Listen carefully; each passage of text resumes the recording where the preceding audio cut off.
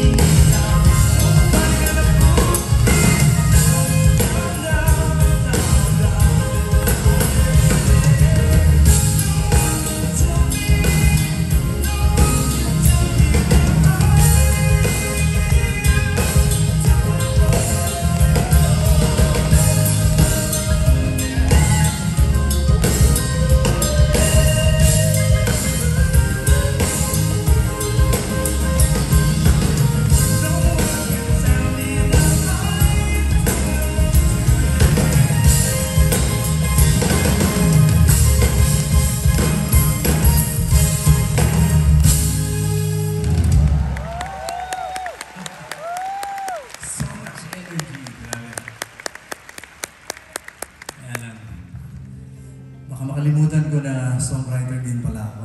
Oo nga. uh, anyway, uh, kilala niyo naman siguro si George Canseco. Yes. Yeah, And of course, uh, Willie Cruz, di ba? Yeah. Kilala niyo sila? Of course. They're two great uh, Filipino composers. Pero hindi ko po kakantahin yung mga kanta nila. no, no, no. But to pay tribute to their uh, talent, them being genius in music, Yeah. I want to share with you a song I wrote that was really inspired by these two great artists. Ang papagat po nito ay pipiliin pang maghintay. Para doon sa mga papili talaga na maghintay.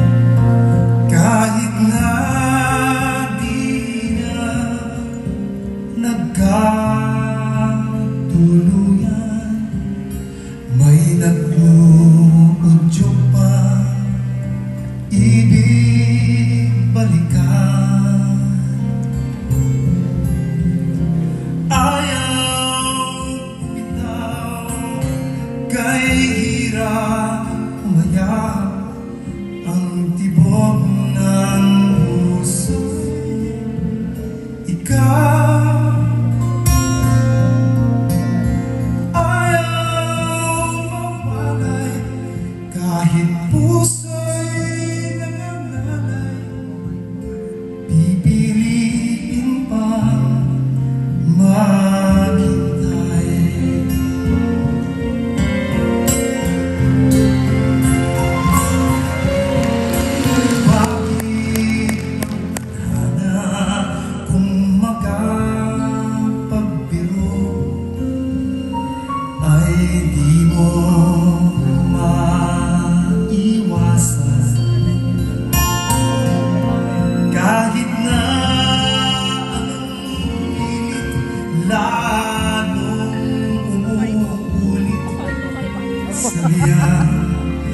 masidhi ang pagsuyo.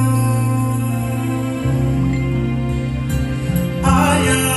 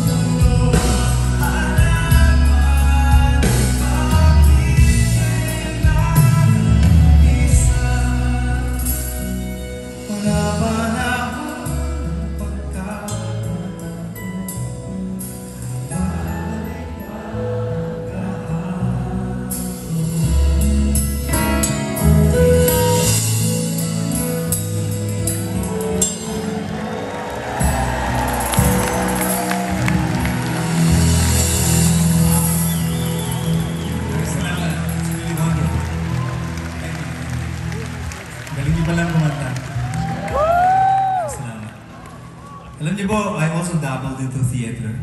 And, uh, pero napag uh, na-realize ko na hindi pala ako actor talaga. Nahirap kong umarte sa stage eh. You cry, you make people laugh, you know, mga ganun. Hindi ko talaga kaya. Tapos yung binibigay pa na role sa akin yung mga namamatay agad. Yung una kong play, it's a musical, it's Jesus Christ Superstar. Pinako ko sa cruise. Jesus Christ. Yung, sumunod naman, 1896, it's a history, an epic about our history. Jose Rizal ang role ko, binaril naman. Sabi ko, binis. So sabi ko, tama na, mahirap na. But anyway, my last uh, uh, play was uh, Rock of Ages. Alam niyo, Rock of Ages? Hindi ko po kakantahin. no, no, no, no. Kidding aside. I, uh, um, I had that opportunity to to play, to be part of that play, that musical, and napaka swerte ko po at uh, at doon ko nagustuhan din mga kanta ng, ng ages. So, that's why I'm going to uh, share with you a medley of ages songs. Okay lang? Yes! Uunahan ko na sila dahil pupunta sila dito. May concert